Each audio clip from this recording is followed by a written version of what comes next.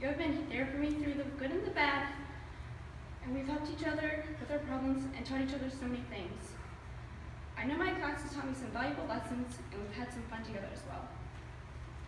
Right now, I'd like to say a little something about each person in the class, and of course, as always, I'm going to start with Matthew Baker. Ever since kindergarten, Matthew and I have been friends, and I would go over to his house and play until I had to go home. He's always been here for me, like if I'm struggling in class or if I'm struggling with something personal, and I thank him for that. Next is Caroline Dutton. Caroline and I have had our rough patches, but let's just say we haven't always been friends. When she first came here, we got off on the wrong foot and ended up not getting along. But thanks to time at KYA dance parties, eventually we got over it, and I'm glad I became friends with you. Now it's Grayson's turn. Grayson is the only person in the class who can make everyone laugh one second and make everyone uncomfortable the next. Whether it's her comforting smile or her random jokes, we could rely on her to make us feel better. Well, as long as you aren't on her bad side that day. what can I say about Kobe Bridwell? Here's a guy who's been my friend for a while now. Though we never really talked constantly or knew if one another made it on to school on time, we always hmm. knew we could talk to each other if we needed to. Now, I'm not going to really miss Kobe because I'll be going to school with him next year and seeing him every day.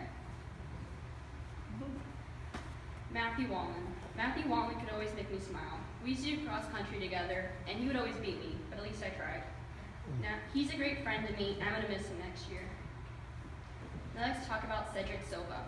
Cedric joined our class in the sixth grade and made some friends pretty fast. In the seventh grade, Ryan and Cedric used to help me with recess kickballs. Cedric could always almost make me laugh, and we had some awkward times together, but I wouldn't change a thing.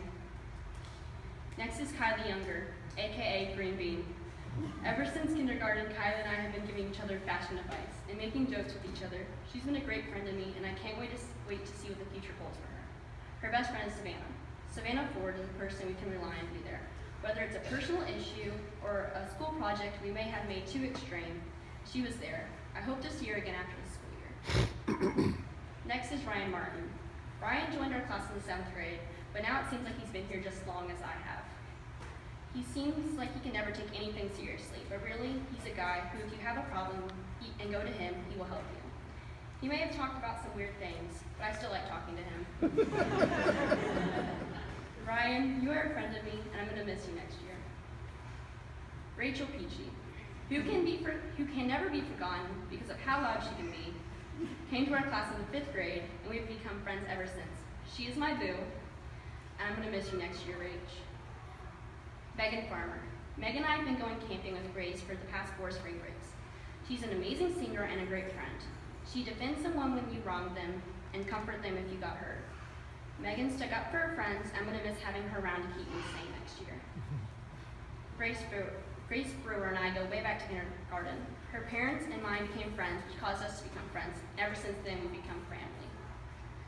Speaking of our family, our other family member is Miranda Sheehan. Randy and I have a very special relationship. We seem like sisters at one moment, and the next moment, the next thing you know, we're trying to rip each other apart. In the end, we're still best friends. She may have only come to school three years ago, but I'm glad she did. Hey, Becky. After we graduate tonight, you better see me again, or I'm going to throw some mean hand motions at you that we made up. Annabelle Majors, who went to the 21 Pilots concert with me this year, is a great human being with the toughest, kindest heart I've ever known. I'm going to miss you, Annabelle and the hype is still real my TOP rap. Megan Wiggins, and I have some rough patches down the road, but when you've been in the same class since kindergarten, you should expect that. She's just a fun person to be around and always makes things. Kenny Domingos joined our class right in the middle of seventh grade. He was my dance partner for the musical, and we would always have fun arguing with each other at recess during football. Next is Patrick Lowcraft, aka Patricia. Patrick came to our class last year. He's always smiling, helps everyone through computer problems. He sometimes impressed me with his ambitious goals. Anthony Martinet was almost always quiet, but we'll never forget him. He can be funny once he starts opening up to you. Now Miguel Hernandez, aka Biggles or the Cuban. Miguel is always making people smile and laugh. He's been a pretty good friend to me since joining our class in the fifth grade. Next is Alexander Wagner. Xander is one of my better friends. He's a person I go to if I need help, support, or maybe even some height. But I won't be missing him either because I'll be seeing him too at Holman County. Evan Price would be up early in the morning for Governor's Cup events with Grant and I, and stay after school for quick recall practice or games like I did. We definitely began to talk because of that. Now last, but not least, is Grant Corson. I can't say much about this person, is what I would have said if he wasn't the first person I talked to in kindergarten. He means a very much to me. From kindergarten to eighth grade, he's been the person I'll go to with all my problems. We went from coloring people purple in kindergarten to connecting random dots we would draw in my math notebook in fifth grade to drawing and math in eighth grade. If the teachers had known about us getting each other off task since kindergarten, I think they probably stopped letting us sit next to each other. But for some reason, they didn't. I'll miss him since my mom said he can't come live with us at our house, but I'm going to force him to see me every now and then. so now, I think it's my turn to teach them something. After nine years, I've realized when people in this class don't know the answer to something, they will start to freak out. Everyone in this class is smart, but it's okay to say, I don't know, or let me get back to you on that. This will come in handy future when your parents ask you when you're planning to move out of their basement, and you hmm. answer, I don't know, let me get back to you on that.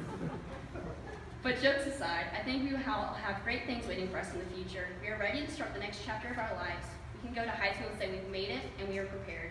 So follow your passion, stay true to yourself, and never follow someone else's path. Unless you're in the woods and you're lost and you see a path, by all means you should follow that. Thank you for your time,